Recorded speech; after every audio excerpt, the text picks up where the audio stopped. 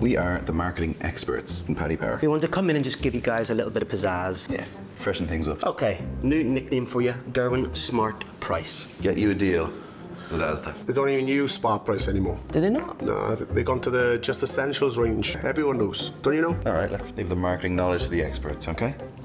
Gerwyn half price. What does that even mean? Well, you lay off the weights, lose some of your muscle definition. How much?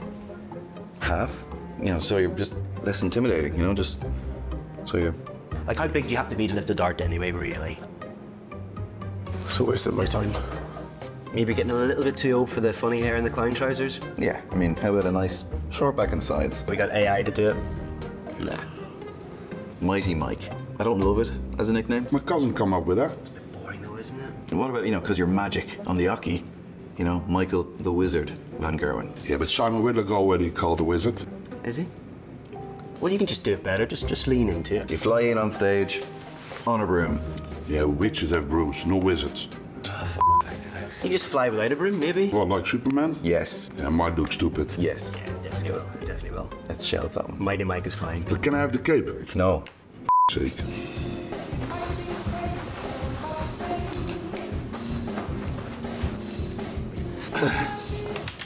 Yeah. Wasn't that something? Look, it's, you know, it's it's good, it's fine, but you do look a little bit like Neil from the Inbetweeners. Yeah, let's try something a bit different for your walk on. All right. Ah. Man. Fantastic. Beautifully done. Beautifully done. Yeah, no dancing. Michael Bully Boy Smith. Tell me, where did that nickname come from? Funny story, actually. Boring. It's real. Okay. And bullying is not big or clever. It's got nothing to do with New it. image for you. You're a family man. We lean into that. The Smiths. You come out, family in tow, waving some gadioli, get the crowd going.